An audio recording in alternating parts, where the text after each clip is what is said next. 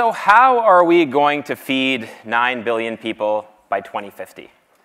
It's one of the largest questions being talked about in the agricultural sector today, and indeed in the good food movement. Experts estimate that we're going to have to grow about 60% more food to hit those 2050 targets. And that's leading to a push toward producing more. More food, more crops, more land, more resources, bigger and better seeds, more, more, more. But are we missing the point? Are we perhaps asking the wrong question? What if we could just throw away less, waste less? Could that go toward meeting that 2050 target? The data suggests perhaps that's true. It's estimated that about half the food we grow in the United States is thrown away, and globally, that number is even higher. Now, in the developing world, it's largely due to systemic issues of infrastructure, inefficient harvesting, lack of cold storage, lack of transportation. And then in the industrialized, developed world, a lot of that waste is due to just the consumer. There's too much of it. We're throwing it away. There's other inefficiencies, a lot of it due to cosmetic reasons. So what if we could just change this paradigm and instead of trying to turn our food system completely inside out to meet these goals, what if we just started throwing away less? The statistics are actually pretty sobering. We throw away an astonishing amount of food, 4 billion tons annually.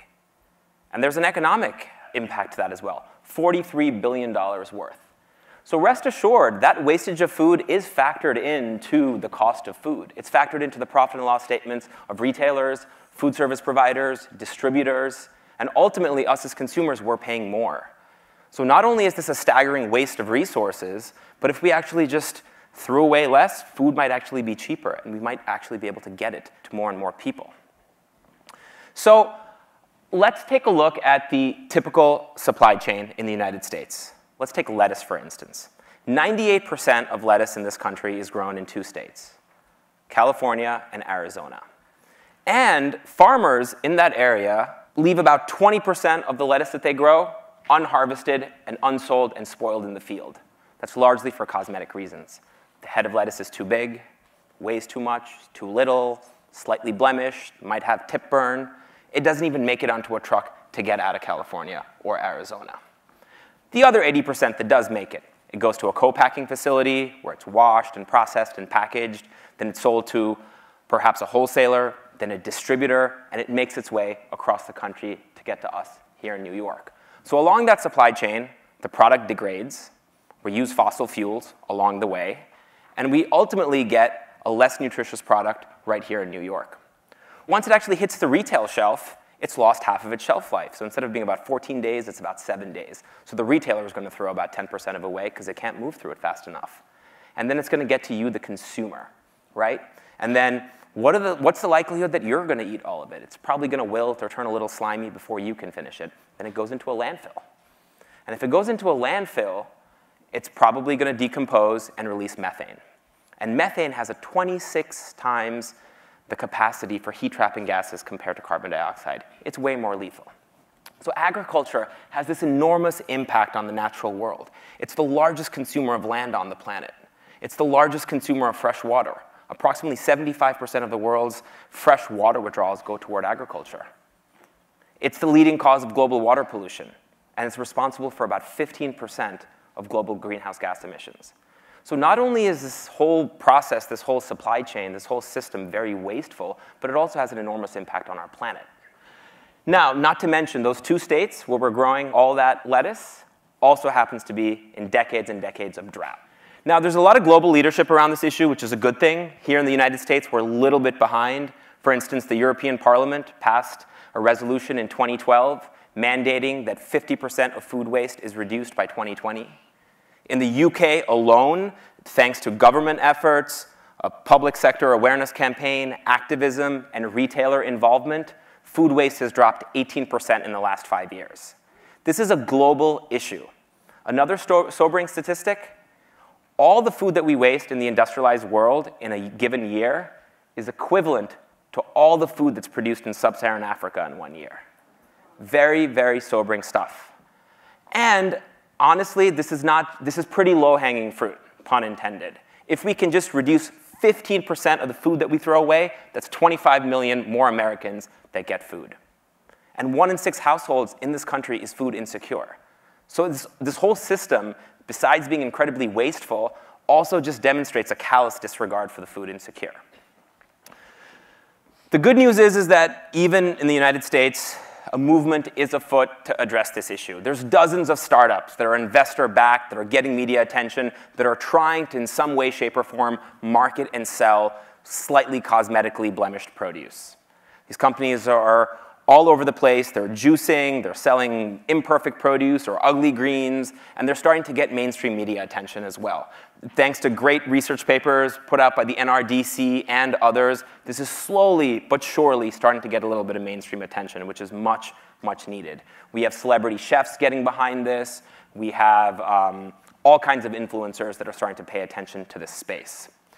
And perhaps most encouraging, we're seeing large retail chains that are starting to dip their toe cautiously into this issue. Now, the retailers probably can make the largest impact. Our entire retail food system today is designed for merchandising and marketing. Walk into any grocery store and look at their produce department. Overabundant supply, huge displays of produce. A lot of that is wasted. On top of that, we've got other systemic issues in the retail sector that cause food waste arbitrary enjoy by dates, sell by dates, use by dates. What do these all mean? There's no consistency. So the fact that retailers are getting involved in this and are slowly starting to address the issue and support companies and trying to promote ugly produce or cosmetically challenged produce is a very good sign. Perhaps the link that bears the biggest brunt of this in the whole supply chain is the farmer. Six billion pounds of fresh fruit and vegetable in the United States were left unharvested and unsold at the farm itself. That's about 20% of what a farmer grows. It just rots in the field. So farmers are slowly trying to market ugly produce, trying to work with their retail customers, trying to work with industrial food uh, service providers to try to find a home for some of this produce. Some of them are trying to compost it. They're trying to create anaerobic digesters to produce energy on their farms with this wasted product. The company that I co-founded, Gotham Greens, we're a sustainable urban agriculture company. We're trying to play a small role in disrupting this conventional supply chain of produce. What we do is we develop and operate commercial scale greenhouse facilities in urban areas for fresh vegetable production. We use a fraction of the land compared to conventional farming, fraction of the water. We recycle all of our irrigation water. We use renewable electricity and we produce good, dozens and dozens of good paying living wage jobs in inner city areas that have a need for job creation. So growing in very close proximity to a large urban marketplace, we're able to cut out that entire supply chain. We're able to get fresh, nutritious product to customers within 24 hours. So this is not going to solve all of our issues, you know, toward making our food system more sustainable, but it can play a small role.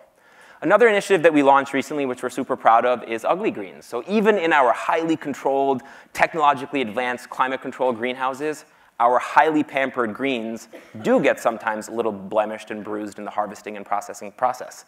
So rather than throw it away or compost it or enjoy it during staff meals, we've decided to package it and sell it at a very steep discount while trying to shed some light on this issue of food waste. The good news is, is that you as consumers can do a lot to address this issue. A lot of this is through consumer behavior that we can change. Simple things like buying local, supporting local, shortening that supply chain, doing more with scraps, using meat leftovers and seafood leftovers to make stock. Uh, slightly wilted produce can be plunged into cold water to give it a little bit more life. We can freeze more. We can help to lobby our elected officials for more composting. There's only two cities in the United States that have mandatory food composting programs. That's San Francisco and Seattle. Former Mayor Bloomberg passed a resolution in New York City to make food composting mandatory by 2020, so hopefully that happens. And you can just compost more and keep it out of the landfill. So there's a number of things that we can do as consumers to address this issue of food waste. And coming back to that 9 billion person target, 2050, can we do it? The data suggests that we can. So I encourage you all to join the movement and let's stop throwing our future away.